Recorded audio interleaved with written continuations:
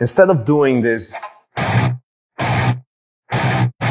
started wondering, what if I go like drummers go? Twice with their feet and twice with their hands, like, I can't really. I'm a drummer. I can.